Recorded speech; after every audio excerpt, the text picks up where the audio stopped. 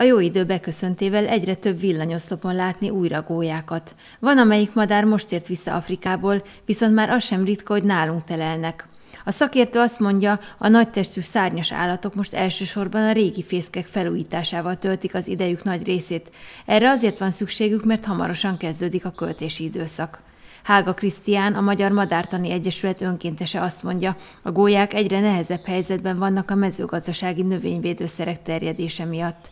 Ami esetlegesen probléma lehet ilyenkor a mezőgazdasági területeken a rákcsálóknak a az írtása, méreggel való írtása, ezt sajnos, hogyha gólyák megeszik, akkor ők ugyanúgy több rákcsáló elfogyasztása után ebbe belepusztulhatnak, de bízunk benne, hogy ez inkább a korat tavaszi időszakra tevődik a mezőgazdaság területén is. További problémát jelent, hogy amikor a fiókák ki akarnak repülni, nekivágódhatnak a villanyvezetékeknek, ettől pedig minden évben több tucat madár kap halálos áramütést idehaza.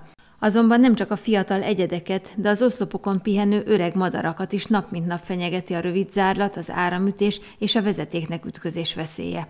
Időközben túl sok mindent sajnos nem tettünk értük, lakossági bejelentéseket az esetlegesen megrongálódott, lecsúszott fészkekre lehet tenni, de ennek nem ez az időszaka, tehát amikor a gólyák elmentek, akkor az ősztől tavaszig tartó időszakban várjuk, illetve várják a természetvédelmi szakemberek az ilyesfajta bejelentéseket.